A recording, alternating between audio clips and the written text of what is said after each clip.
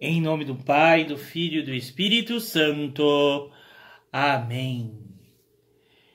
Inspirai no Senhor em nossas ações, para que para vós comece e para vós termine tudo o que iremos aprender. Pai nosso que estais no céu, santificado seja o vosso nome, venha a nós o vosso reino, seja feita a vossa vontade assim na terra como no céu. O pão nosso de cada dia nos dai hoje, perdoai as nossas dívidas, assim como nós perdoamos os nossos devedores, e não nos deixeis cair em tentação, mas livrai-nos do mal. Ave Maria, cheia de graça, o Senhor é convosco. Bendita sois vós entre as mulheres, e bendito é o fruto do vosso ventre, Jesus.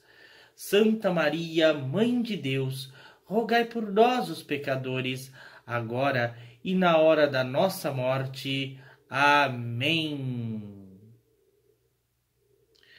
Santo anjo do Senhor, meu zeloso guardador, se a ti me confiou a piedade divina, sempre me rege, me guarda, me governa e me ilumina. Amém. Em nome do Pai, do Filho e do Espírito Santo. Amém.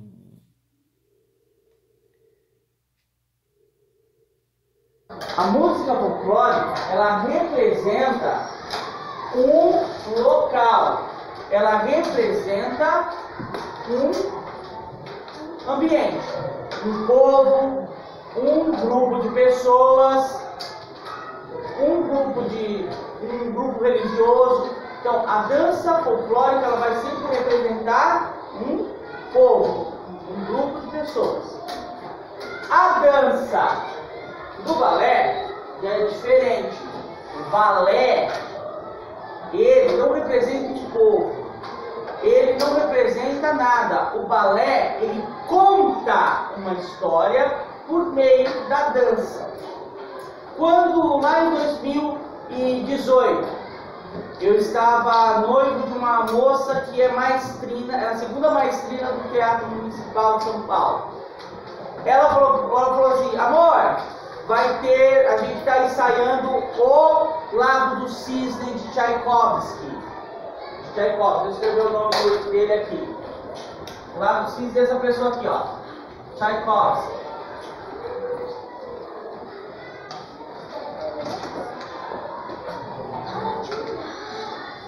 Tchaikovsky. É o lado do cisne de Tchaikovsky. Quando eu falei, quando, eu, quando ela falou para mim, eu falei, ótimo, posso levar meus alunos do nono ano? Pode levá-los. Levei, peguei todos os meus quatro nono anos de uma escola aqui da Queiraz e levei-os para ver a peça. Primeira coisa que eles estranhou, sabe o que foi? O silêncio. O silêncio do teatro. Era um silêncio que obrigava você a fazer silêncio. Mesmo que você quisesse falar, o silêncio do lugar te obrigava a fazer silêncio. Começou, estava todo mundo sentado em silêncio, começou a peça. Os primeiros acordes foram dados e começou lá os bailarins dançando, fazendo seus, as suas danças, os seus passos, as suas coreografias. Chegou, passado um tempinho, chegou um aluno, professor, sim, que hora vai começar a peça? Já começou, já está quase na metade, eu falei para o aluno. Mas os professores não falaram nada. Não, eles não vão falar nada mesmo. Porque aquilo ali é um balé. É uma dança que está repre... é uma dança que conta uma história. Então ele vai dançar. Ele não vai falar com você, contar, ó, oh, é isso que está acontecendo, etc. Os personagens não, eles só vão dançar. Então o balé, ele é, uma, ele é somente dançado. Só dançado. Conta a história mas por meio da dança, dos gestos da dança.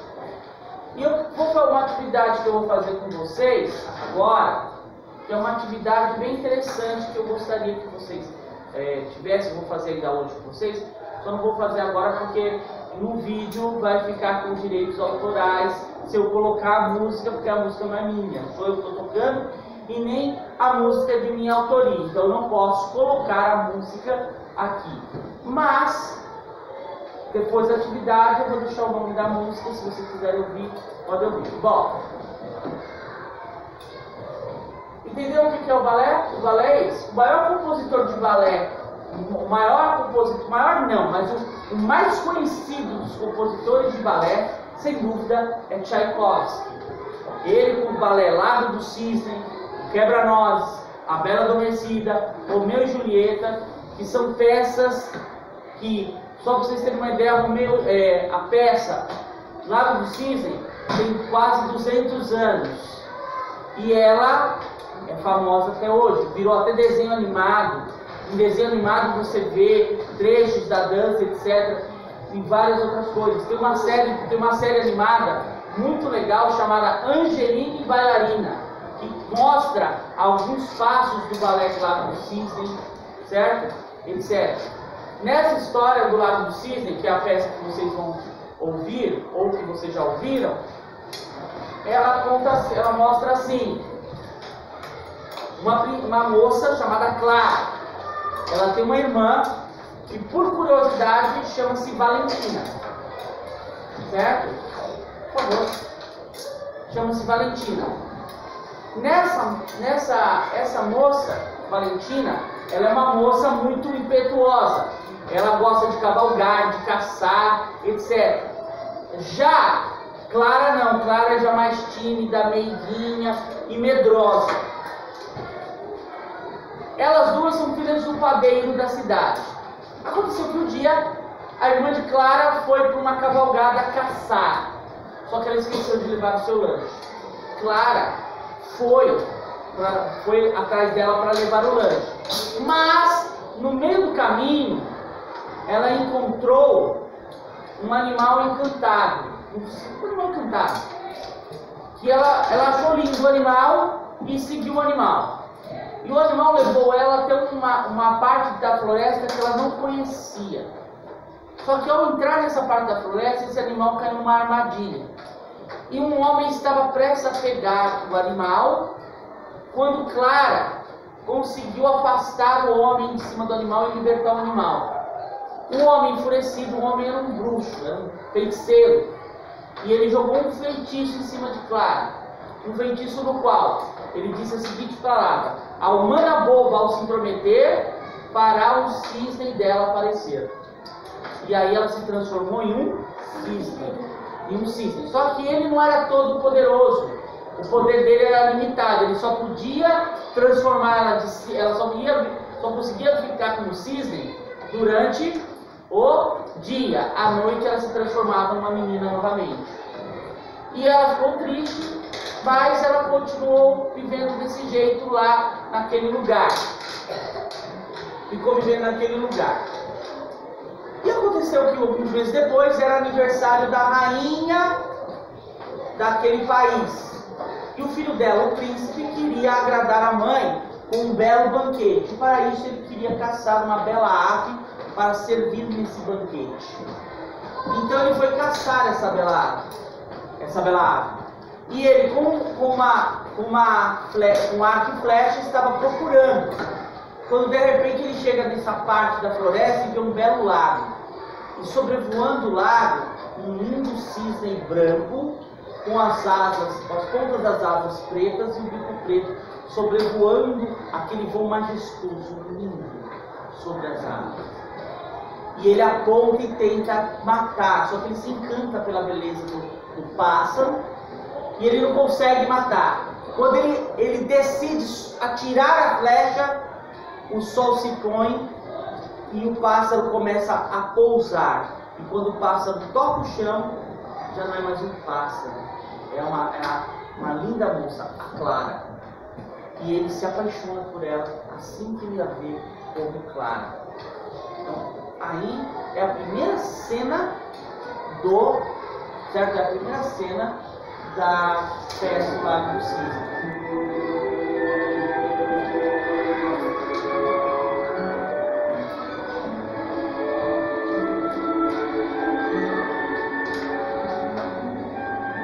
Primeiramente, quando a música começa, vocês percebem que a música começa de uma forma suave, ou seja, suave, sublime como o voo do cisne sobre o lago. Está voando sobre o lago. É claro, é uma bailarina dançando suavemente sobre o palco. E está no formato, o palco está com um cenário formado como se fosse um lago. E ela começa a dançar sublimemente, certo? Sublimemente. É onde vocês ouvem isso aqui, ó. Ó. Ela voando sobre o lago, dançando. Olha que, olha que sublime, que suave os movimentos da, da orquestra. A água tangendo, com uma beleza, uma leveza total. O voo do cisne suavemente sobre as águas daquele lago, aquela, aquele, aquela luz do sol, é, do sol de outono, brilhando entre as aves, entre as árvores, com, a, com aquela brisa suave de um fim de uma tarde, o sol, aquele sol do fim de uma tarde de outono, bem suave, bem tranquilo, e, a, e a, aquele pássaro lindo voando. De repente, muda a cena, parece um caçador. E ele vê a presa, e ele fica olhando uma melhor posição para atirar. Percebe que quando entra o caçador, é o mesmo começa. As trompas entram bem pesadas e severas. Ele fica olhando e a, cisne voando entre os outros pássaros, formando uma cena linda. Os pássaros coloridos juntos com o cisne, dançando sobre cristalino. Todos eles voando sobre o lago, passos suaves, sublimes,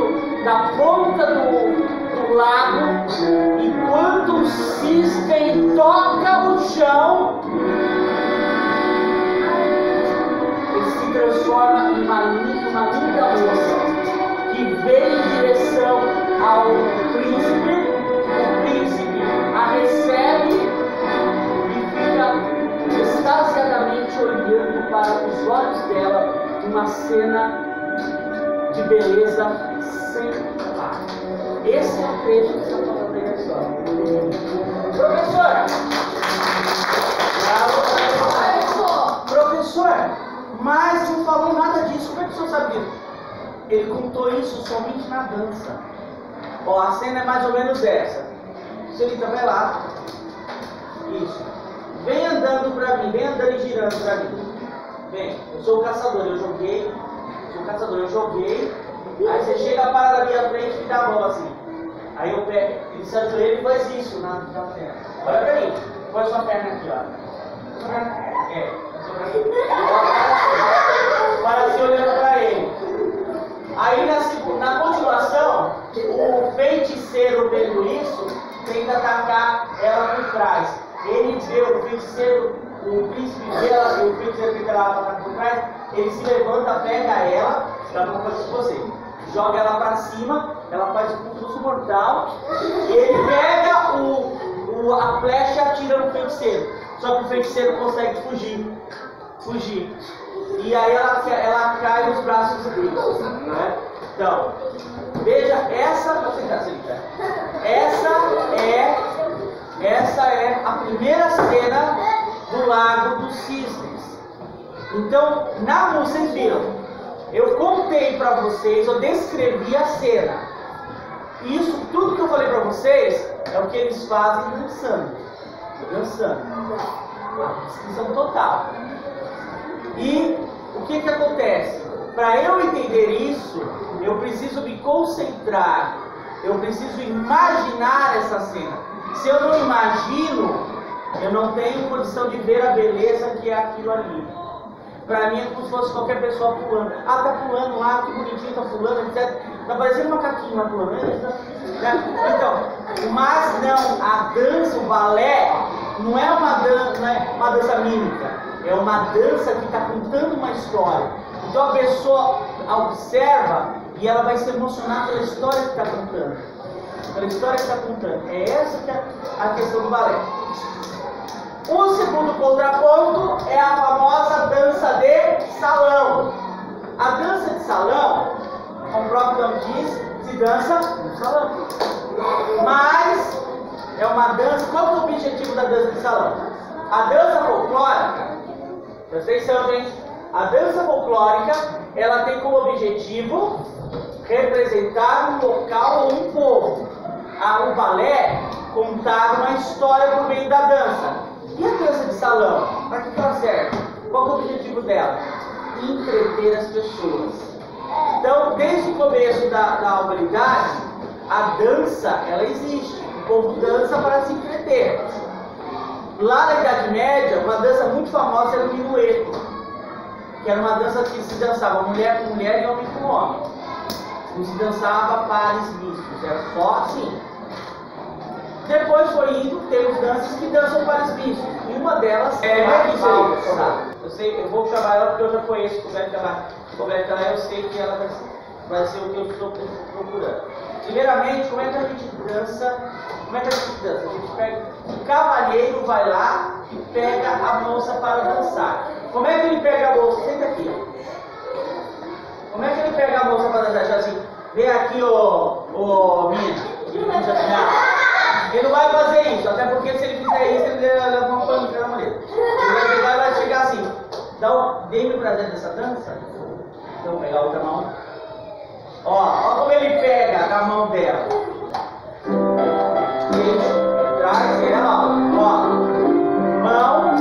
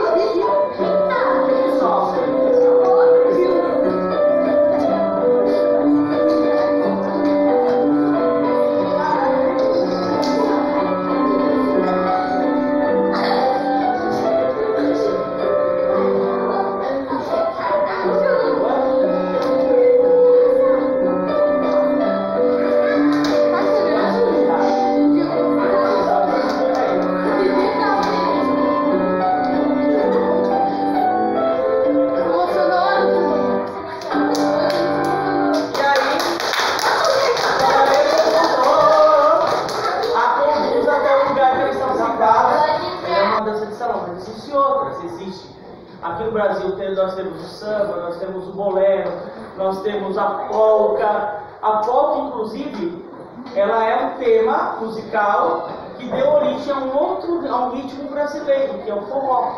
Então, quando você ouve uma polca, muito a polca é muito parecida com o forró, muito parecida. Então, o que, eu vou pedir para vocês? Primeiro, eu quero que vocês leiam um pouquinho sobre esses dois compositores.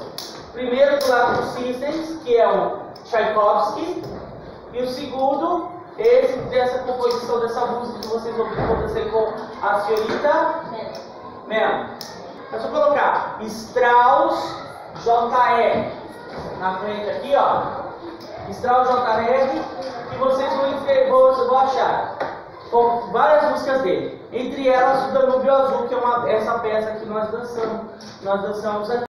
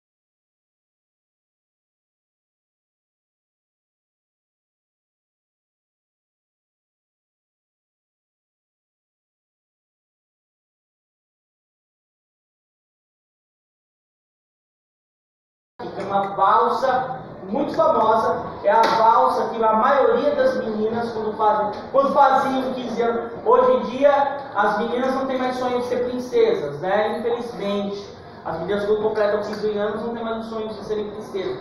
Elas querem ser outra coisa, menos princesa, o que é um absurdo. Mas tudo bem. Aquelas que ainda sonham em fazer uma festa de 15 anos, um baile de gala, etc., como era feito antigamente, elas gostam muito de dançar essa música, que chama-se Danúbio Azul, Strauss Jr., que era filho do Richard Strauss, que também era músico. O filho, o filho, o filho, ó, o pai, o filho e o neto eram músicos. E os irmãos também eram músicos também. Era uma família de músicos fantástica. Da onde, professor? Da Áustria, certo? Aliás, a Áustria viu vários artistas. Esse discípulo Tchaikovsky, né? Ele era russo. De baixo é austríaco certo? Mas que fez muito sucesso na Suíça com as suas, pe com as suas peças também, né? Então a gente tem aí esses dois compositores. Então, danças clássicas são essas. Repetindo. Folclórica representa um lugar. A dança folclórica sempre vai representar um local. A dança de balé vai contar uma história por meio da dança. E o famoso dança de salão vai o quê? Vai ser uma dança com o objetivo de entreter. Por que, que eu escolhi a senhorita, a senhorita Melody, Melody, né? Oi? A Melody? Como para dançar aqui comigo? Porque eu já conheço ela. Uma vez eu brinquei com ela de de dançar e eu vi que ela é leve. Ah, professora, eu também sou leve. O que, que é a leveza na dança e a leveza também no jogo de futebol? É quando a pessoa que está dançando ou que está jogando, ela consegue tirar o peso das suas pernas, da parte de baixo, da, da cintura para baixo, e jogar o peso para cima do corpo, certo? Deixando a, o, o, peso livre, o pé livre, para fazer o, o movimento. Isso, então vai, professor, é fácil, não é fácil, não é difícil de você acostumar a fazer isso. Por isso que tem muita gente que fala assim, ah, eu sou bom de bola, e não consegue entrar em sua linha, por quê? Porque não consegue fazer isso. Professor, como é, dá uma dica de como eu posso treinar para fazer o meu peso, que fica nas pernas, subir para cima da cintura.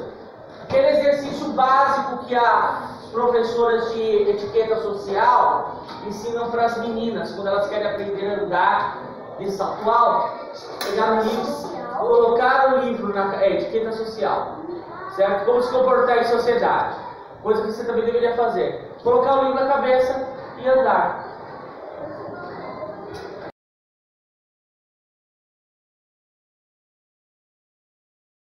Em nome do Pai, do Filho e do Espírito Santo. Amém. Obrigado, Senhor, por mais essa aula que Deus abençoe a todos os que estão assistindo, os que estão assistindo agora no, no, momento, os que vão assistir ainda quando essa aula subir para o YouTube, enfim, a todos, desde o que assistiram na sua, no seu lançamento, na sua transmissão, até o que está assistindo depois de um mês, dois, três meses. Abençoe também a todos que estão aí contribuindo com a campanha das flautas.